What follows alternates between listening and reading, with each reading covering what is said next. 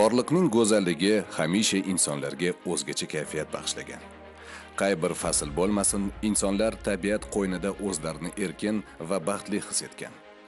Ona zaminning insonlar uchun atagan go'zalliklari esa talaygina. Faqatgina buning qadriga yetish ozodalikka atrof muhitni asrash bilangina erishish mumkin. Tabiatga bo'lgan mehrimiz munosabatimiz javobsiz qolmayapti. Ekologik soflik yashillik zilol suvlar toza havo bularning barchasi biz uchun farzandlarimiz uchun. Shunday ekan bu borada uzoqni o'ylab ish qilish kerakligini davlatimiz rahbari ham alohida ta'kidlab o'tdilar. Ochiq aytish va tan olishimiz kerak qo'limizdagi qog'ozni yerga tashlagan uyimizdan olib chiqqan maishiy chiqindini maxsus tashlash joyiga emas ariq bo'ylariga tashlab ketgan vaqtlarimiz bo'lgan. Afsuski bugun ham bu holatni kuzatishimiz mumkin. Toza hudud tashkiloti xodimlari vaqtida maishiy chiqindilarni olib ketishmaydi degan e'tirozlarni ham eshitamiz. Ammo ularning ishi sizu biz belgilanmagan joyga tashlab ketgan chiqindilarni yig'ishdan iborat emas. Qolaversa ekologik madaniyatimiz darajasi yashash tarzimizga ijobiy yoki salbiy ta'sir o'tkazishi barchaga ayon.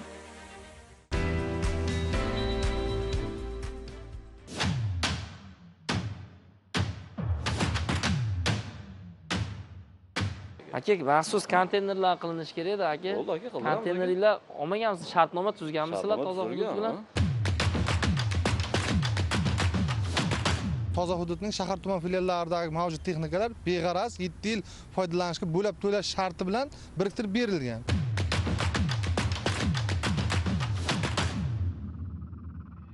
Ma'lumotlarga ko'ra, bugungi kunda dunyoda qattiq maishiy chiqindilar miqdori aholijon boshiga har yili 1% ga ortib borayotgan ekan.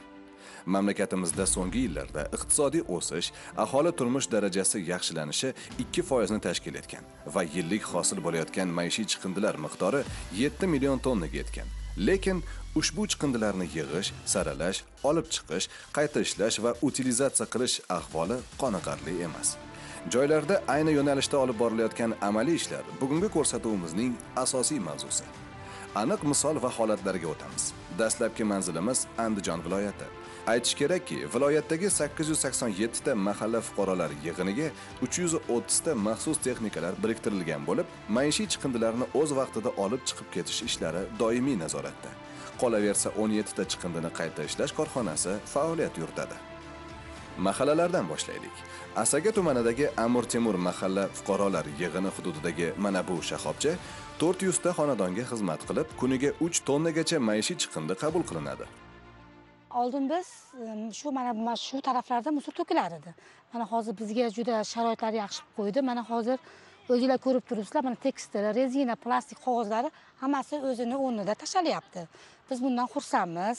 Odamni o'zida ham bo'lishi kerak bu narsa. Masalan men o'zim tashlaydigan bo'lsam plastik bo'lsa plastikka tashlayman. Masalan chiqindi bo'lsa chiqindiga tashlayman. Hududda ikkita shu kabi chiqindilarni yig'ish shoxobchasi tashkil qilingan. Bunday yaratilgan sharoit va tushuntirish ishlari aholi o'rtasida ekologik madaniyatni oshirishga xizmat qilishi shubhasiz. Respublika ishchi guruhi vakillari ham mazkur jarayonlarni ko'zdan kechirdilar. Belgilangan tartibda ko'p qavatli uylar atrofiga past qismiga chiqindi tashlash mumkin emas. Mutaxassislar mazkur holatlarga ham e'tibor qaratdilar. Ko'p qavatli uylardan birida istiqomat qiluvchi fuqarolardan biriga bu haqda tushuntirish berilishiga qaramasdan, beparvolik qilib, bu mening ishim emas, qabilasida ish tutdi. Natijada holat yuzasidan unga nisbatan tegishli tartibda jarima qo'llash chorasi ko'rildi hamda hudud chiqindilaridan bartaraf etildi.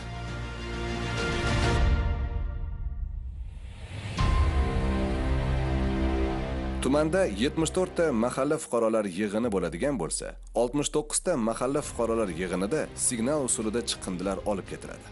Shuningdek, bitta poligon ham mavjud. Ko'chalarga kirar ekansiz, barcha chiqindilar bilan bog'liq masalaga mas'uliyat bilan yondashayotgani sizni xursand qiladi. hozir mana hududlarda yuribmizda o'sha ekologiyani asrab avaylash chiqindilarni e'tiborli bo'lish umuman ob- mahallalar ko'chalar obodligiga e'tibor qaratyapmizda endi mahallalarda chiqindilarni o'z vaqtida olib ketishadimi? E, har hafta payshanba kuni e, chiqindilarga mashinalar keladi olib ketadi.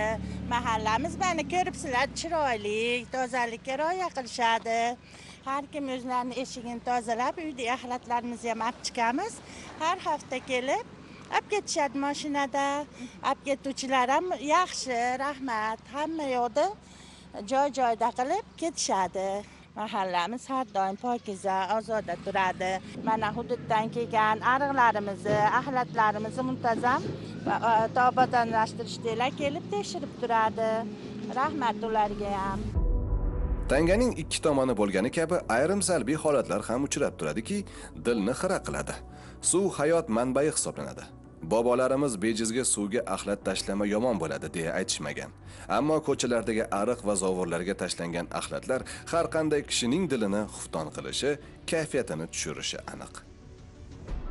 Yo'l bo'ylaridagi axlat uyumlari esa ko'cha yuziga dog'dek ekologik vaziyatni o'rganish maqsadida asaka dehqon bozoriga bordik. Bozorga kirib ulgurmasimizdanoq qonunbuzarliklarga ko'zimiz tushdi. Bular ko'p yillik manzarali daraxt bo'lgan archalarga reklama bannerlarining o'rnatilishi bo'ldi. Daraxtlarga ziyon yetkazish holatlaridir. Ushbu holat bo'yicha ikkita tadbirkorlik subyektiga belgilangan tartibda jarima qo'llanildi. Andijon viloyati asaka tumanida navbatdagi reyd tadbirlari davomida e, asaka tumanida bozor hududida joylashgan daraxtlarga noqonuniy bannerlar ilish holatlari aniqlanib ushbu holat yuzasidan hozir tegishli tartibda bayonnoma rasmiylashtirilib tushuntirish xatlari olinmoqda. Bu holat e, aslida e, daraxtlarni o'sishdan to'xtamagan darajada shikastlantirishga kiradi. Bu holat bo'yicha ma'muriy javobgarlik to'g'risidagi kodeksni yetmish to'qqizinchi moddasi birinchi qismiga asosan fuqarolarga besh besh baravardan o'n baravargacha mansabdor shaxslarga esa o'n baravardan o'n besh baravargacha jarima solishga sabab bo'ladi. Bozor ichiga kirar ekansiz atrofning pokizaligi chiqindi tashlash uchun kerak bo'lgan maxsus idishlar borligi e'tiborimizni tortdi. Bozor peshtaxtalari noz ne'matlar bilan to'kin. Atrofdagi holatlar sekin astalik bilan o'rganila boshlandi.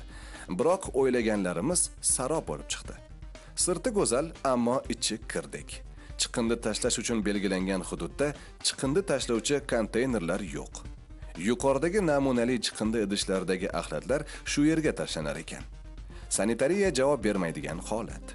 Atrofda esa savdo qilinmoqda. Qishloq xo'jaligi mahsulotlarining chiqindilari badbo'y hid esa dilni xira qiladi. Davlat ekologiya boshqarmasidanman ismim sanjarbek dadamirzayev bu akalarimiz respublika ekologiya qo'mitasidan ha, o'zbekiston respublikasi prezidentini bo'ldi bo'ldi aka chiqindilar to'g'risidagi qonunni ijrosi bo'yicha andijon viloyatida o'rganish ishlari ketyapti bozorlarda shu yetti yuz sakson sonli qarori chiqqan vazirlar mahkamasini. Shu bozor hududida konteynerlar o'rnatilishi e, chiqindilarni o'z vaqtida olib chiqib ketilishi turli kasalliklarni tarqalishini oldini olish bo'yicha. Ana shu bo'yicha sizni anaqangizga keldi hozir bozor hududiga? Ana shu sanitar me'yorlarga to'g'ri kelmayaptida aka bozorni hududidagi chiqindi anaqalaringiz aka. Aka kunda olinadi aka уже mana kunda olinib turib tozalanib aka mana уже hozir buni buyog'iga bo'ladi aka. Sababi kechagi kuni mana haligicha пожарный bo'ladi ashingi mahallarda olingan joyida aka. Aka maxsus konteynerlar qilinishi kerak edi aka. Bo'ldi aka qilamiz konteyneringlar olmaganmisiz shartnoma tuzganmisizlar toza hudud bilan ha. necha kunda bir olib ketadi aka kunda tozalanadi aka. Kunda tozalanadi aka. Turibdi-yu aka, hozir bu уже chiqadiyu aka bozor axlat ashidan chiqib qo'yilgan anaqasida aka. Aka abidgacha gap to'g'risi aka to'lib ketadi mana shu ana shuning uchun konteyner qo'yib qo'ysangiz aka manaqa suvlar oqmaydida aka keyin moshina ham kirib olib chiqib ketishga qulay bo'ladi bo'ldi aka qo'ydirib qo'yamiz bugun qo'ydirib qo'yamiz bozor ma'muriyatiga ogohlantirishlar berildi. Ushbu holatni bartaraf etish tez fursatlarda amalga oshirilmasa jarimalar qo'llanilishi ta'kidlandi.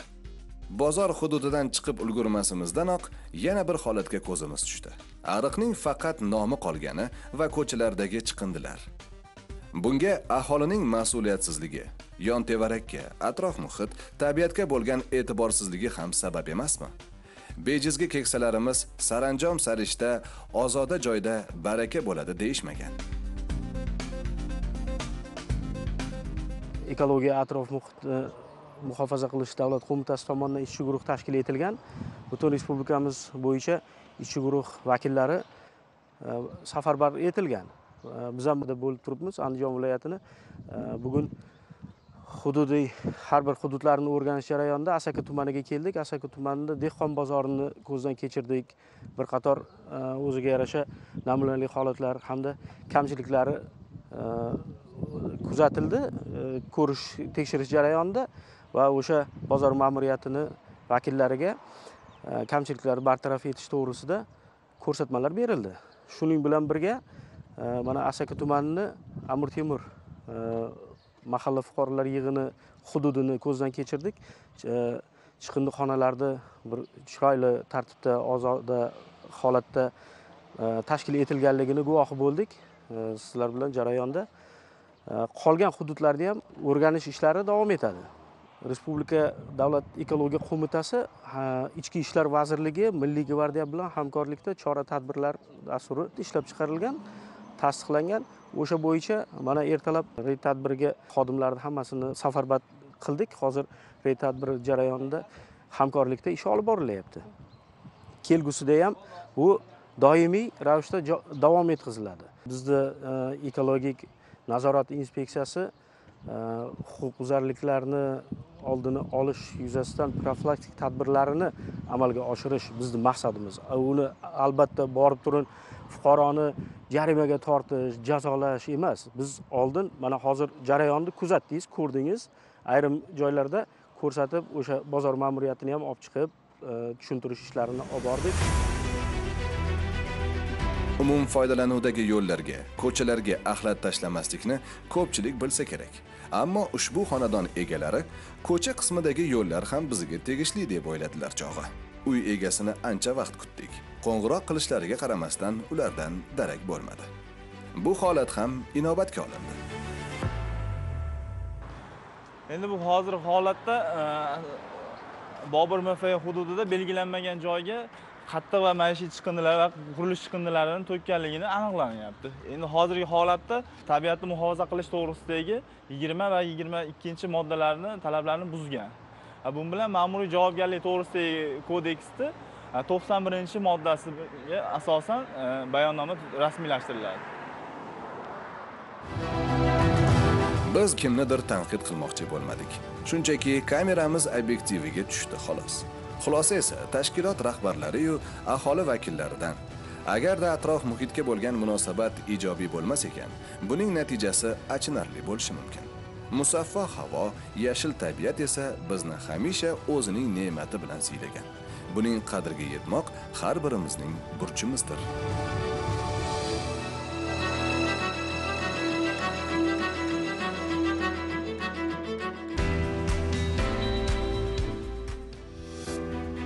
Bugungi kunda soha mutasaddilari oldiga maishiy chiqindi to'plash qamrovini 95 foizga qayta ishlash hajmini 40 foizga yetkazish vazifasi qo'yilgan.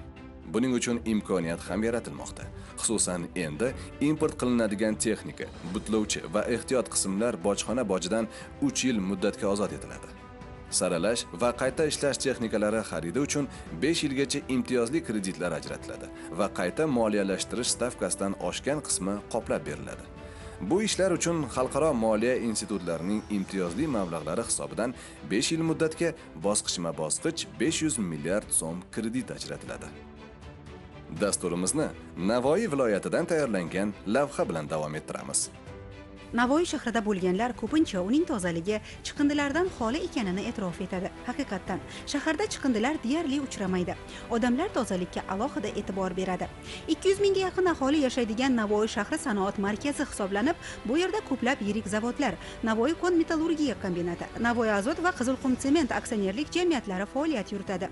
Ishlab chiqarish ko'pligi hisobiga havosini unchalik toza deb aytib bo'lmaydigan shaharda ko'chalar va mahallalarning tozaligi diqqatga sazovor. Mahalla faollarning fikricha bunga sabab shahar ahlida chiqindi tashlash madaniyati shakllangan. Qolaversa viloyat ekologiya va atrof muhitni muhofaza qilish boshqarmasi hamda qator hamkor tashkilotlar tomonidan ekopatrol xizmati bilan birgalikda hududlarda olib borilayotgan ishlar ham shahrimiz tozaligini saqlashda muhim ahamiyat kasb etmoqda.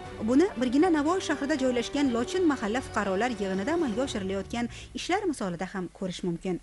Mana navoiy shahrimiz eng chiroyli eng ekologik jihatdan toza hisoblanadi. Mana hozir ham bir rossiya davlatidan kelgan oila bir o'n yil avval ko'chib ketgan ekan shu bilan suhbat qurdik. Arg'izga sigaret qoldig'ini tashlashga dedi. Man uyaldim dedi. Qarangda umuman bizni navoiy shahrimiz juda toza shahar juda chiroyli shahar obod shahar. Ko'p qavatli uylarimiz ta'mirlanib yoniga mana shu skameykalarni yoniga axlat qutilari qo'yildi chiqindi qutilarimiz yangilandi. Mana berejli biz xizmat qiladi bizni shaharga. Bizda yigirma ikkita ko'p qavatli uy bo'lib har bir domni oldiga ana shu ko'p qavatli uyni oldida qutilarimiz yangisiga almashtirildi. Mana hozir ko'rib turganingizdek o'sha axlat qutilari turadigan joylarimiz bir chiroyli o'sha g'ishtlarga almashtirildi. Chiqarilib obod qilindi. Bu ko'rkimizga yana ko'rk qo'shyaptida. Qachonki biz mahallabay birgalikda hamkorlikda ish olib borsak hamma joyda ham o'zgarish katta bo'ladi tozalik bo'ladi obod bo'ladi. Uy to'lovlarini to'lashda ham o'z vaqtida to'lab borsak mana ko'rdingizku o'sha to'lovlarimiz o'zimizga qaytib yaxshilikka xizmat qilyapti. Darhaqiqat shahrimiz obodligida nafaqat mas'ul tashkilotlarning balki har birimizning burch va majburiyatlarimiz bor. Bunda eng avvalo tozalik va ozodalikka e'tibor qaratishimiz qolaversa maishiy chiqindilarni belgilangan joyga tashlashimiz shuningdek chiqindi uchun to'lovlarni vaqtida amalga oshirishimiz talab etiladi. Bu esa har birimizning ekologik madaniyatimiz nechog'liq yuqori ekanidan darak beradi. Ma'lumot o'rnida aytish joiz respublikada birinchilardan bo'lib navoiy viloyatida maishiy chiqindilar bilan ishlash sohasida ikkita davlat xususiy sheriklik loyihalarini amalga oshirish bo'yicha bitimlar imzolandi va viloyat hududi to'liq xususiy sektorga biriktirib berildi. Natijada hududdagi uch yuz o'ttizta mahallalardan ikki yuz to'qson beshtasi ya'ni sakson to'qqiz foizi sanitar tozalash xizmatlari bilan qamrab olindi. Shuningdek qattiq maishiy chiqindilarni qayta ishlash darajasi o'ttiz olti foizga yetkazildi.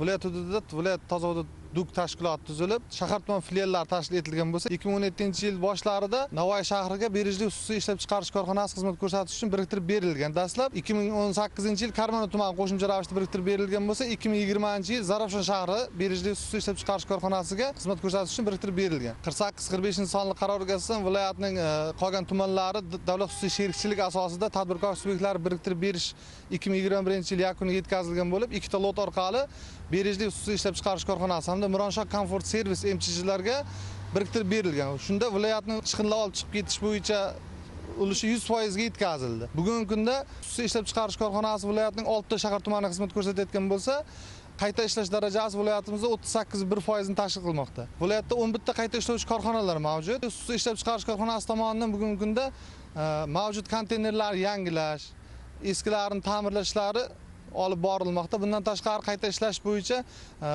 zarafshon shahri hududidan chiqindilar. Navoiy shahrida karman hududida joylashgan. Chiqindilar qayta ishlash zavodiga olib kelinib qayta ishlash ishlari to'liq olib borilmoqda. Bugungi kunda navoiy shahrida mavjud 36 ta mahalla fuqarolar yig'inida klasterlik faoliyati bo'yicha qattiq maishiy chiqindilarni yig'ish tashish qayta ishlash va utilizatsiya qilish bo'yicha vist xususiy korxonasi faoliyat yuritmoqda.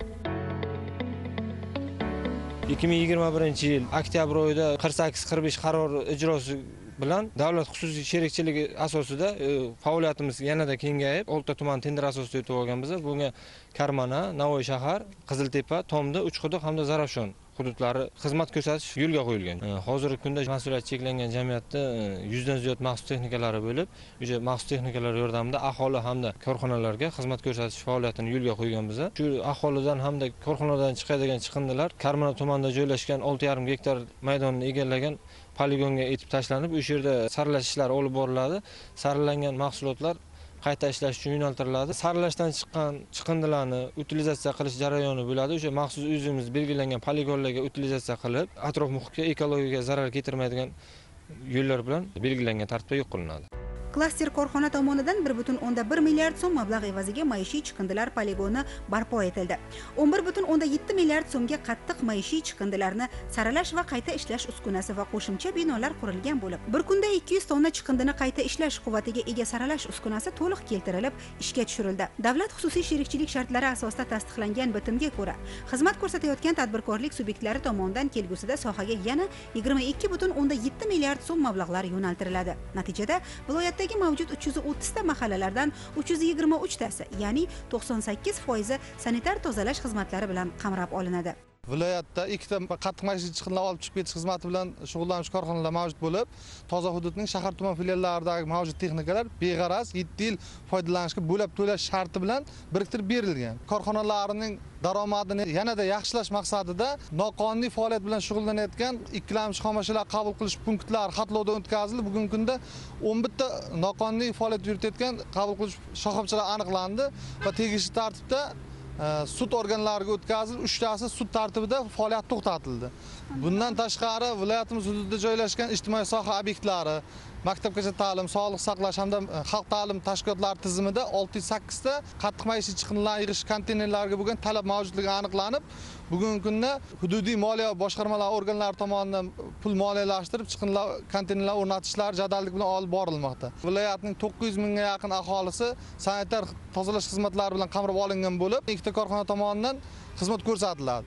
Jarayonda ekopatrul xizmati navoiy shahridagi markaziy dehqon bozoridagi ekologik vaziyatni ham o'rgandi. Guvohi bo'lganingizdek bozorning tozaligi saranjom sarishtaligi doimiy ravishda mutasaddilar e'tiborida. Ammo chiqindi tashlash bilan bog'liq ba'zi kamchiliklar ham ko'zga tashlandi bu borada mas'ullarga tegishli tartibda ogohlantirish berildi. Asosan tomorqali xonadonlardan iborat bo'lgan xonchorbog' mahalla fuqarolar yig'inida aholining maishiy chiqindilari signal usulida olib ketiladi. Biroq so'nggi paytlarda maishiy chiqindilarning o'z vaqtida olib ketilmasligi hududda yashovchi fuqarolarning e'tirozlariga ham xususiy korxona bizaga faoliyat ko'rsatadi. Haftaga uch marta kelib olib ketish kerak. Dushanba payshanba shanba chiqindilarni e, olib ketmaslik holati oxirgi paytda umuman suskashlik bo'lyapti fuqaroning e'tirozlari o'rinli albatta. Biroq tanganing ikkinchi tomoni bo'lgani kabi maishiy chiqindilarni olib ketish qayta ishlash jarayonlarining uzluksiz va sifatli tashkil etilishi aholining to'lov madaniyatiga ham ko'p jihatdan bog'liq ekanligini unutmaslik lozim. Ko'pchilik e, hududlarda e'tiroz bildiriladi. Mana bu chiqindi tashlash qutilarini nosoz holga kelib qolgan yaroqsiz holga kelib qolgan degan e, ko'p e'tirozlar bo'ladi vajlar bo'ladi. Uni asrash aholini zimmasida keyin e, o'sha to'lov madaniyatini agar yaxshi amalga oshirib borilsa o'sha hududda yashovchi aholiga zamonaviy chiqindi qutilari o'rnatib beriladi. Atrof muhit musaffoligida maxsus chiqindi tashlash qutilarining o'rni alohida. Vatan mahallasida mavjud o'nga yaqin chiqindi qutilarining anchayin yaroqsiz holga kelib qolganligi esa hududda yangi chiqindi tashlash qutilariga ehtiyoj borligini ko'rsatmoqda.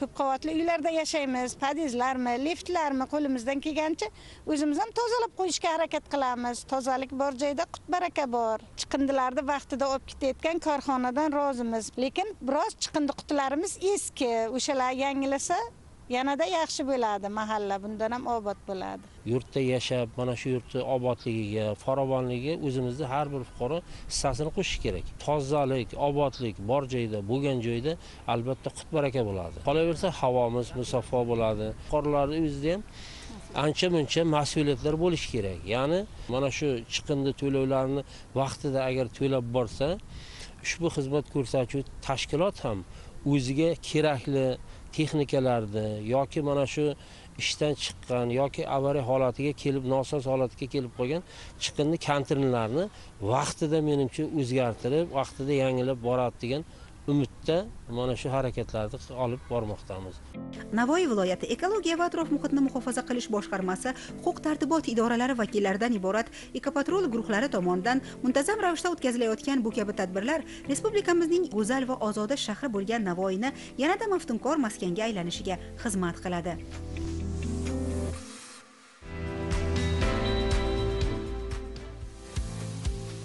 Ma'lumotlarga ko'ra, 2017-2021 yillarda chiqindilarni boshqarish tizimi tubdan qayta tashkil etish va sohani takomillashtirish yuzasidan 27 ta normativ huquqiy hujjat qabul qilingan. Ushbu hujjatlar asosida qattiq maishiy chiqindilar bilan bog'liq ishlarni amalga oshirish infratuzilmasi yaratildi. 13 ta sanitar tozalash davlat unitar korxonasi hamda ularning tuman va shaharlardagi 172 ta filiali tashkil etildi. byudjet mablag'lari hisobidan 632 milliard so'm mablag' evaziga 1245 ta maxsus texnika xarid qilinib, korxonalarning moddiy texnika bazasi mustahkamlandi. Xorazm viloyatida ham ayni yo'nalishda e'tiborga molik ishlar amalga oshirilmoqda. Ayni paytda viloyat toza hudud davlat unitar korxonasi tomonidan yettita tumanda joylashgan ikki yuz oltmish sakkizta mahallalarning barchasi sanitar tozalash xizmatlari bilan qamrab olindi. Sakkiz yuz yigirma olti ming nafar aholiga bir yuz o'ttizta texnika yordamida xizmatlar ko'rsatilmoqda. Viloyat toza hudud davlat unitar korxonasi bo'yicha jami o'n uch ming ikki yuz oltmish to'rtta byudjet va boshqa xo'jalik yurituvchi subyektlardan jami uch ming o'ttiz to'qqizta shartnomalar tuzilgan. Shu jumladan byudjet tashkilotlari bilan bir yuz sakkizta va boshqa xo'jalik yurituvchi subyektlar bilan ikki ming to'qqiz yuz o'ttiz bitta qattiq maishiy chiqindilarni olib ketish bo'yicha shartnomalar imzolangan. Maishiy chiqindilarni to'plash va olib ketish xizmatlarini ko'rsatish sohasida amalga oshiriladigan davlat xususiy sheriklik loyihalari bo'yicha xususiy sherikni tanlash tenderlarini o'tkazish bo'yicha viloyatdagi xiva qo'shko'pir shovot tumanlarida uchta hududda davlat xususiy sheriklik bitimlari imzolanib bugungi kunda xususiy sheriklar tomonidan hududlarda yashovchi aholiga sanitar tozalash xizmatlari ko'rsatib kelinmoqda.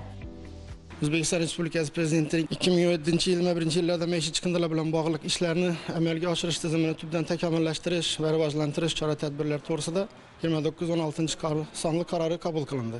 Shu qarorga asosan viloyat hokimimizning ikki yuz qirqinchi sonli qarori ijrosi qabul qilinib shu qaror ijrosi asosida xorazm viloyati ekologiya va atrof muhitni muhofaza qilish boshqarmasi qirq sakkizinchi sonli buyrug'i bilan xorazm viloyati toza hudud davlat unitar korxonasi tashkil etildi.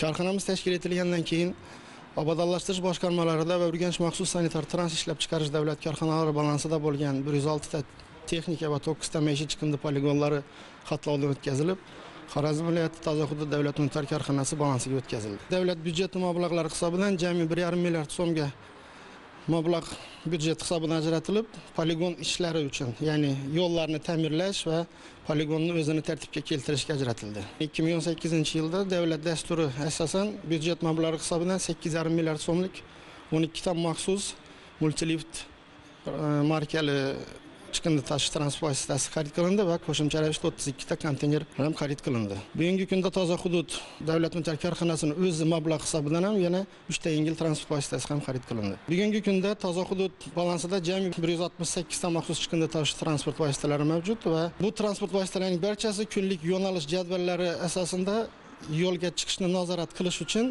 gps uskunalari bilan o'rnatilgan. Viloyatimizda aholi sanitar toza xizmatlari qamrov darajasi obodonlashtirish boshqarmalari qoshida vaqtida o'ttiz foizni ham tashkil qilmagandi. Bugungi kunga kelib qamrov darajamiz yuz foizga yetdi. Sanoat texnologiya rivojlangani sari ekologik muammolar ham yuzaga kelayotgani sir emas. Ishlab chiqarish davomida havoga uchayotgan zaharli gazlar yoki qattiq maishiy chiqindilarning atmosferaga sog'lig'imizga jiddiy ta'siri bor. Ma'lumotlarga ko'ra mamlakatimizda bir yilda to'planayotgan qattiq maishiy chiqindilar hajmi yetti million tonnani tashkil etar ekan. Ularning ochiq havoda to'planib turishi ham yer ostiga ko'milishi ham zararli ekanligini e'tiborga olsak eng to'g'ri yo'l ularni qayta ishlash jarayonini tashkil etish bo'ladi. Bizni jamiyatimiz xiva shahriga xizmat ko'rsatib kelmoqda. Muhtaram prezidentimizni maishiy va qurilish chiqindilari bilan bog'liq ishlarni boshqarish tizimini yanada takomillashtirish chora tadbirlari to'g'risidagi yigirma to'qqizinchi sentyabr ikki ming yigirmanchi yil qirq sakkiz qirq beshinchi sonli qarori chiqdi.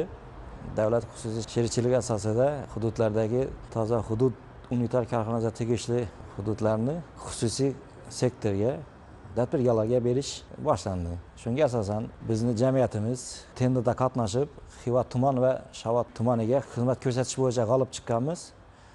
Va e, ikki ming yigirmanchi yil yanvar oyidan tumanlarga ham faoliyatimizni yo'lga qo'yganmiz. Oldin e, xiva shahri bo'yicha to'qson ikki ming aholi yigirma bir mahallaga xizmat ko'rsatib turgan bo'lsak hozirgi kunga kelib e, bizni xizmat ko'rsatadigan mahallamiz soni bir yuz o'ntaga yetdi. Xizmat ko'rsatadigan aholimiz soni uch yuz sakson mingtaga yetdi.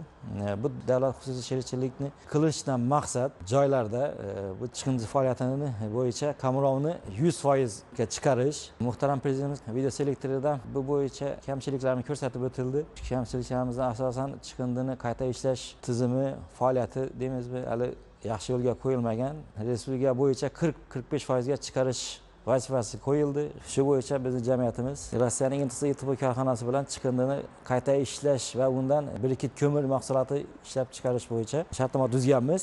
Zavodni quvvati yiliga yuz ming tonna chiqindini qayta ishlaydi. Ikki smenada tashkil qilinadi. Bu bo'yicha yana qirq beshta ishchi o'rin yaratiladi. Shu munosabat bilan viloyatimizda chiqindini mm, qayta ishlash hajmini o'ttiz qirq foizga chiqarish maqsadiga erishamiz. Xorazmda bu borada yo'lga qo'yilgan ishlarga yana to'xtalsak makulaturadan qog'oz ishlab chiqarishga mo'ljallangan urganch shahrida joylashgan korxonaning yillik ishlab chiqarish quvvati yiliga 11 ming tonnani tashkil etadi. Yuzta ish o'rniga ega bo'lgan bu korxonada mahalliy xom ashyo makulaturadan qog'oz ishlab chiqariladi. Loyiha qiymati 3,5 million aqsh dollarini tashkil etadi. Ayni paytda tayyor mahsulotni eksport qilish imkoniyati ham bor. Shu vaqtgacha mahsulotlar tojikistonga eksport qilingan. Loyiha doirasidagi ishlar tufayli karton qog'oz importini 50 foizga kamaytirishga erishish mumkin. Yana bir ishlab chiqarish bu plastmassa chiqindilar va baklashkani qayta ishlash bilan bog'liq. Jayxun xorazm savdo maslihati cheklangan jamiyati 2013 yilda ish boshlagan. Ayni paytda 63 nafar ishchilar ish olib borishmoqda. Bir kunda o'rtacha 4-5 tonna plastmassa chiqindilar baklashkalar qayta ishlanib yarim tayyor xom ashyoga aylantiriladi. Ish hajmini yanada oshirish maqsadida bu yil korxonaga qop bilan salafan paketni ishlab chiqarishga mo'ljallangan uskunalar o'rnatilishi rejalashtirilgan.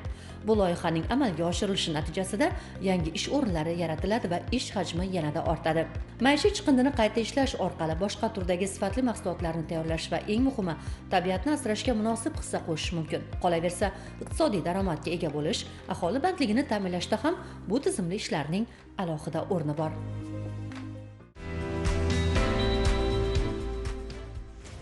Dasturimiz yakunida davlatimiz rahbari raisligida joriy yil 2 fevralda chiqindilar bilan ishlash tizimini takomillashtirish va hududlardagi ekologik holatni yaxshilash yashil makon umummilliy loyihasini amalga oshirish bo'yicha 2022 yildagi ustuvor vazifalar yuzasidan tashkil etilgan video selektor yig'ilishida keltirilgan ma'lumotlarni e'tiboringizga havola etmoqchimiz. Qayd etilishicha hududlar kesimini olib qaraganda maishiy chiqindilarni qayta ishlash darajasi andijonda 45 foiz buxoroda 43 foiz navoiy va namanganda 36 foizni tashkil etib yaxshi natija ko'rsatilmoqda. Aksincha qoraqalpog'iston 10 foiz farg'ona va qashqadaryo 20 foiz bilan qolgan hududlardan orqada ekanligi maishiy chiqindilarni yig'ish va qayta ishlash klasterlari faoliyati hali tizimli yo'lga qo'yilmaganligi. Shuningdek davlat rahbari tomonidan 781 ta mahallada 30 yildan buyon chiqindini olib chiqish masalasi hamon hal etilmaganligi tanqid qilindi. Demakki joylarda maishiy chiqindilarni o'z vaqtida olib chiqib ketish ularni qayta ishlash utilizatsiya qilish borasida hali qilinadigan ishlar yetarlicha. Shu o'rinda bu dolzarb masala atrof muhit muhofazasi faqatgina toza hudud korxonasi yoki boshqa mutasaddi tashkilotlar zimmasidagi emas balki barchamizning oldimizda turgan kechiktirib bo'lmas vazifa ekanini yana bir bor ta'kidlamoqchi edik. Zero go'zal tabiat toza havo ozodagarchilik inson salomatligining muhim omillaridan hisoblanadi.